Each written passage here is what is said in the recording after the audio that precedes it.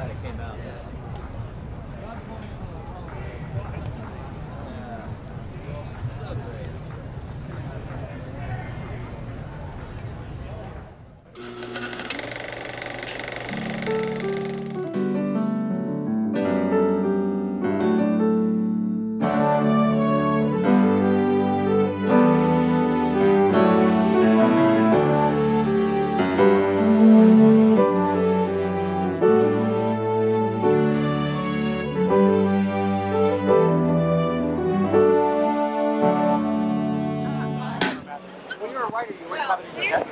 The way, the way you see it. an But then amazing the movie matches that you. Give In this particular film, like, I'm so glad Thank you very with Director Wong You because he is are just luminous. The camera loves you. So what I put on page, And you have so much attitude. Where, where do you find that kind of strength to bring to that character? 아, 뭐, 아?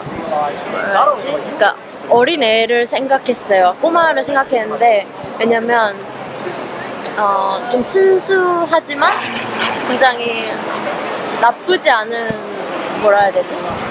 악성 그 어린애들이 가지고 있는 악 악한 마음을 떠올리면서 찍었어요. 그래서 어린애들이 뭐 나비를 죽이는 것처럼 쉽게 죽이는 것처럼 사람도 아무렇지도 않게 죽이고 뭐 이런 거예요. So while I'm playing the character, I thought of a child, and even though a child is innocent, um, they also have a bit of cruelty in them and in, in, their character, just like how they can um, simply step on an ant or step on a butterfly and still not really feel the depth of what they're doing. I kind of had to imagine that balance between the innocence and of the cruelty as well. What was the hardest part of this role? Because this is a very demanding role. It's very physical. It's very strenuous, especially in that final act where the Yeah. you know you're Yeah. on the green screen and, and the train. It was not green screen. It's we went uh, ski ski 스키장? 스키장. 예, 스키장 가서 찍었고요.